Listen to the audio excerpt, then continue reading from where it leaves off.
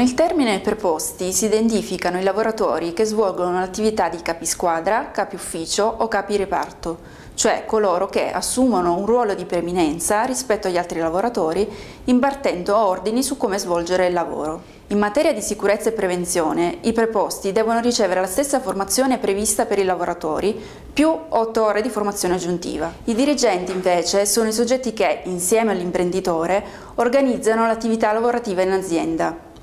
Come lavoratori preposti devono ricevere una formazione sulla sicurezza. Nello specifico si tratta di una formazione ad hoc di 16 ore relativa alla gestione della sicurezza in azienda. Questa formazione riguarda gli aspetti organizzativi, giuridici e comunicativi legati al loro ruolo. Le aziende devono formare preposti e dirigenti entro l'11 luglio 2013. L'obbligo non riguarda preposti e dirigenti già formati prima dell'11 gennaio 2012, purché la formazione pregressa sia documentata e abbia avuto contenuti adeguati.